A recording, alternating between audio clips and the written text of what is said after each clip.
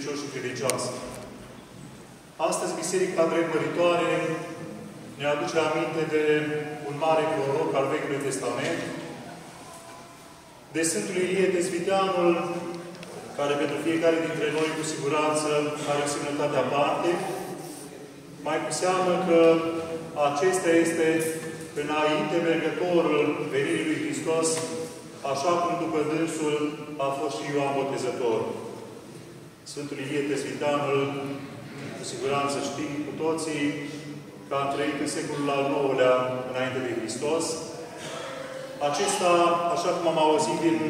apostolul pe care Domnul Constantin l-a citit, era un om ca și noi, cu patic și cu slăbiciuni. Dar era un om credincios, un om care știa că trebuie să vină Mesia Hristos,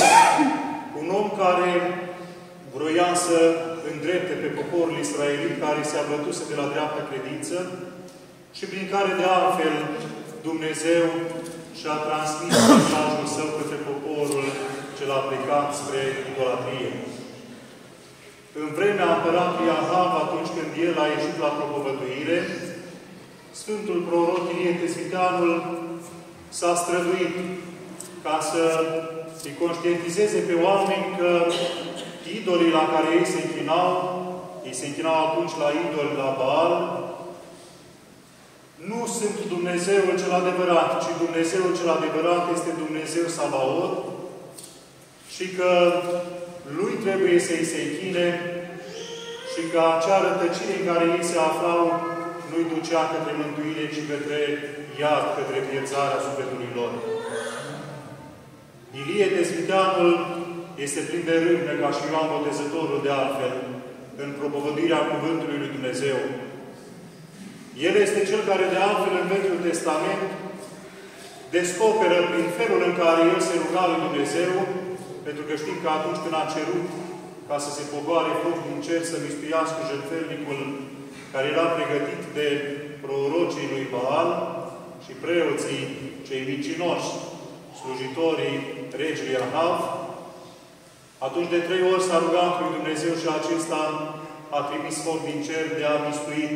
jertfelnicul pregătit de Elie, ca semn al adevăratei identități a Dumnezeirii lui Elie Tesvitean. El era plin de rândă și nu numai că se mânia pe cei care erau îndepărtați de la dreapta credință, dar a poruncit ca să fie uciși profeții cei mincinoși. El este cel care, precum Ioan Botezătorul, a încercat să-l îndrepte pe Irod, pentru că acesta căzuse în altfel de păcat. Nu în idolatria în care căzuseră Ahav și soția sa, ci acesta căzuse în altă patimă, adică aceea a desfrânării. Ilie Tesviteanul îi îndemna pe toți cum să se roage și spuneam că îi învăța care este Dumnezeu cel adevărat. El este Cel care a săvârșit în numele Lui Dumnezeu și minuni. Știm că Ilie Tesviteanul s-a rugat lui Dumnezeu pentru că poporul era dărătnic, adică era rău și nu vrea să se îndrepte la credința cea, cea bună, l-a rugat pe Dumnezeu ca să trimită foc din cer și să oprească ploaia pe pământ timp de trei ani și șase luni. Timp în care acesta se adăpostește într-o peșteră, într-o stâncă săpată lângă râul Cherit, acolo unde unii dintre dumneavoastră, poate ajungând la locurile sfinte, ați descoperit acea frumoasă mănăstire a Sfântului Ioan Ozevitul, Sfântul Ioan Iancu de la Neamț. Acolo sus Ioan, acolo sus Sfântul Ilie Tezviteanul a stat în acea peșteră și a așteptat ca poporul să se căiască. Iar după trei ani și șase luni, timp în care a fost hrănit de corp, Dumnezeu îi trimitea acestuia mâncare prin intermediul păsărilor. Acesta, rugându-se, Dumnezeu s-a milostivit și a trimis din nou ploaie peste pământul cel însetat. Știm că a stat o perioadă la o femeie vădvă din Sarita Sidonului Acolo, femeia aceasta fiind văduvă și neajutorată, l-a hrănit pe Sfântul Ilie, a făcut din făina pe care o avea și uleiul care îl mai, pe care îl mai avea, i-a făcut o turtă pe care o împărțit-o și au mâncat-o, spunând să mâncăm și mai apoi să murim. Cu siguranță acesta putea fi sfârșitul să moară de foame cu toții. Dar vedem că Ilie s-a rugat lui Dumnezeu și acea făină puțină și acel puțin unde lemn nu s-a mai terminat din cămara femeii, din casa femeii, ci chiar dacă ea lua, frământa, acela apărea la loc acolo și nu s-a sfârșit niciodată. Mai mult decât atât, ca să-și arate identitatea sa, adică de trimis al lui Dumnezeu, de proroc al lui Dumnezeu, Ilie Tesviteanul se roagă de trei ori lui Dumnezeu și îl va învia pe fiul acelei femei care murise. Arătând că Dumnezeul său, Dumnezeul la care el se închina, este Dumnezeu cel adevărat care poate să săvârșească minuni. În tradiția noastră a poporului, știm că Sfântul Ilie are putere înaintea lui Dumnezeu ca să trimită ploaie bogată peste ogoarele noastre, peste pământul cel însetat. Dar în egală măsură este Cel care poate trimite și foc peste oamenii necredincioși care nu se opresc sau nu găsesc de cuvință să-i mulțumească lui Dumnezeu în zi de sărbătoare, în zi de răzduire a unor sfinți sau chiar în ziua pomenirii sale, celor care numere la biserică și își fac de lucru pe o goare sau prin gospodărie, ca să adune fânul și să-l pună în uh, stog, așa cum se zice pe la țară, sau în fânărie, și acestora uneori, pentru că sunt necredincioși, le trimite foc și mistuiesc tot ceea ce consideră ei că au agonisit ca să aibă. De aceea, credem că Sfântul Ilie pe care astăzi îl prăznuim, are putere înaintea lui Dumnezeu ca să ducă rugăciunile noastre mai cu seamă din această perioadă a verii. Și cu siguranță din acest motiv este și prăznuit în această perioadă fiind în luna lui Cultor,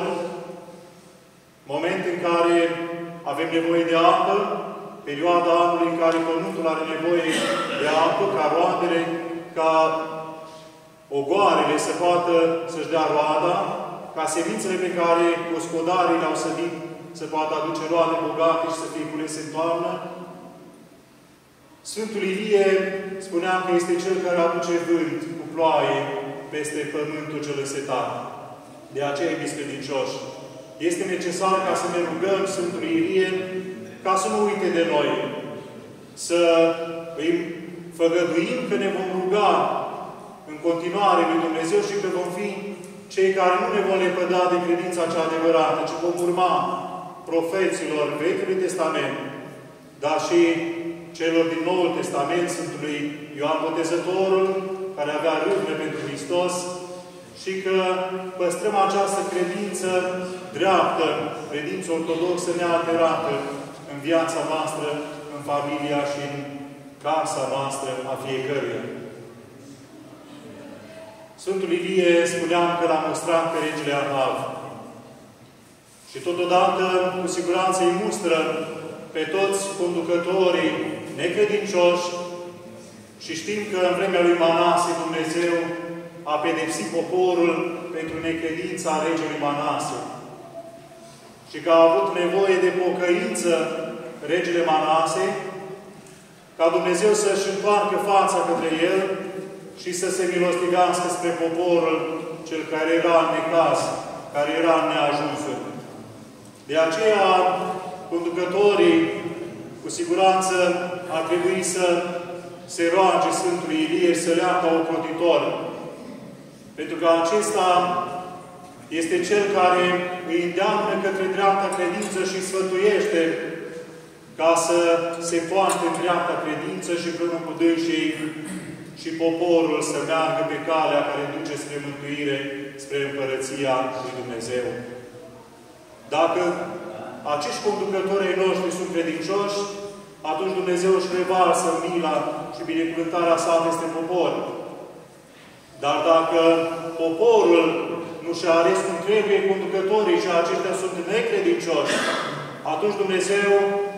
nu trimite binecuvântarea sa, ci trimite dojana sa, trimite poate încercări peste popor ca să-și dea seama că nu sunt pe calea cea bună.